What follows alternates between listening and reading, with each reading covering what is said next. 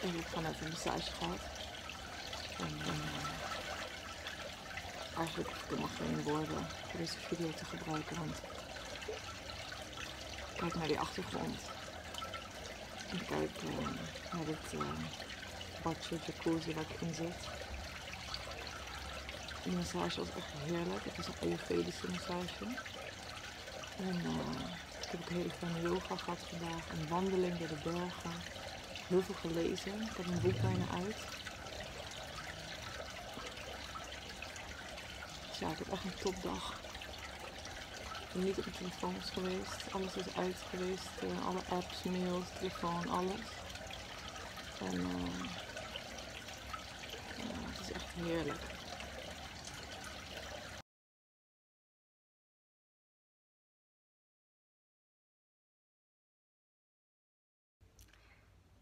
Half tien in de avond. Ik zit in de bibliotheek. Er is weer niemand, dus uh, iedereen zit beneden voor een laatste kopje thee. Dus ik kan nu wel even een reflectie doen van uh, gedachten van uh, de dag. We hebben net een avondmeditatie gedaan. Ja, en ik, ik voel me gewoon echt heel tof. En gewoon heel dicht bij mezelf.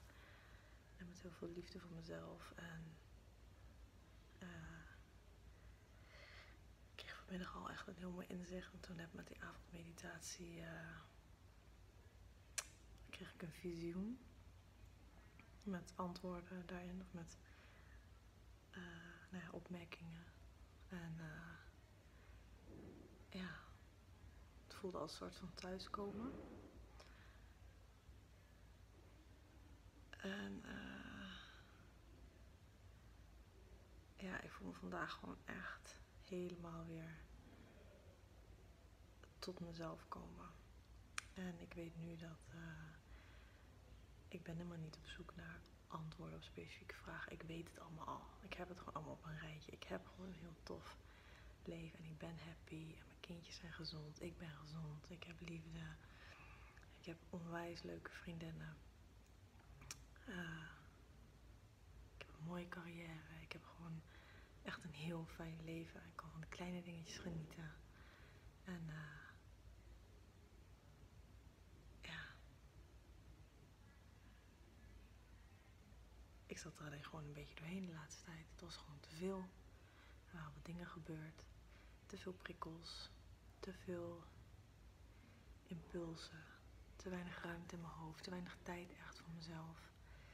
Ik merk dat het uitzetten van mijn telefoons en mijn apps doet me ontzettend goed. Het is echt, uh, het gaat de hele dag door ja, bij zoveel van ons. En ik doe het zelf, ik kan hem ook wegleggen, ik kan hem uitzetten. Maar al die social media en al die WhatsAppjes en al die mailboxen. Veel, denk ik. Dus um, ja, ik ga er ook met even op een slimme manier over nadenken, ook daar veranderingen aan gaan brengen. En ja, ik ben echt heel benieuwd hoeveel zitten jullie uh, online of op je app, WhatsApp of op je social media? Of hoe vaak zit je wel niet met dat ding in je handen? Terwijl hier nu,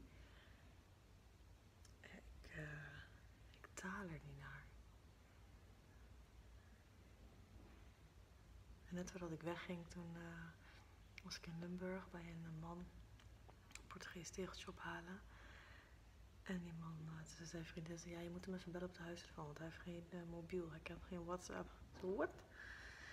Het bestaat dus gewoon. En uh, hele aardige man. En nou, weet die tegeltje in de kruiwagen, in die auto ingeladen.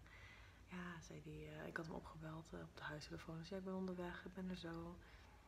En toen zei hij, ja, ik heb geen auto, ik kon gewoon rijbewijs halen, maar ik wilde het niet. En te veel auto's op de weg vind ik. Ik wil geen mobiel. Ik, hij zegt, als ik zie hoeveel stress jullie er allemaal van hebben, ik wil dat gewoon niet. Als ik iemand wil zien of spreken, ik bel niet langer dan drie minuten met mijn ouders om te zeggen uh, dat ik dan, dan kom en om te vragen of het uitkomt en dan ga ik er naartoe. Ik spreek met mijn vrienden af. Ik,